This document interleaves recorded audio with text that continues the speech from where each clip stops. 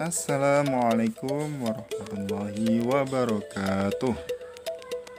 Pagi anak-anak, hari ini kita akan belajar materi baru Yaitu huruf dal, lal, ro, zai, sin, shin, dan sod Siapkan alat tulisnya ya Huruf yang berikutnya adalah huruf yang ke-8 Huruf ke-8 adalah huruf dal. Cara menulisnya adalah dengan meletakkan ujung pena kalian pada titik yang paling atas. Kemudian ditarik ke bawah mengikuti arah panah hingga sampai akhir. Ayo ditulis ya di buku kalian Huruf yang ke-9 Huruf ke-9 ini adalah huruf dal Huruf dal ini cara menulisnya bagaimana?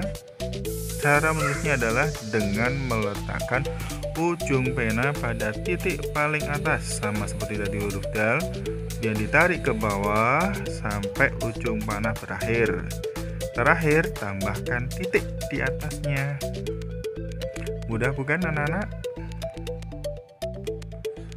Huruf yang berikutnya adalah huruf ke-10. Huruf ke-10 ini adalah huruf ro.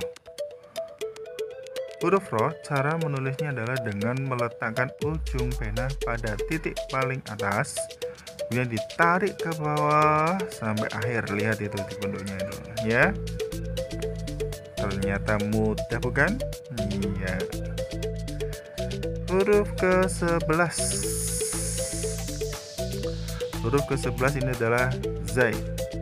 Zai ini cara menulisnya adalah dengan meletakkan ujung pena pada titik paling atas, kemudian ditarik ke bawah hingga panah berakhir di ujung panah berakhir, kemudian tambahkan satu titik di atasnya. Ayo semangat ya nulisnya. Huruf ke-12 adalah sin. Huruf sin coba dilihat itu huruf sin. Nah, sin cara menulisnya adalah dengan meletakkan ujung pena pada titik paling kanan kemudian ditarik ke bawah menuju ke arah kiri mengikuti arah panah hingga akhir.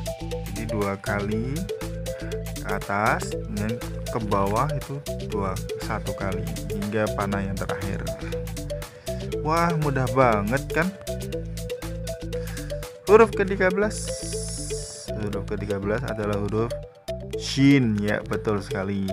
Huruf Shin Cara menulisnya adalah dengan meletakkan ujung pena Pada titik atas paling kanan Dan tarik ke bawah Ke kiri Ke atas Terus dua kali Kemudian ke bawah Tarik panah hingga akhir beri titik tiga di atasnya Nah, mudah bukan? Terakhir adalah huruf ke-14 huruf short. Ya, huruf short.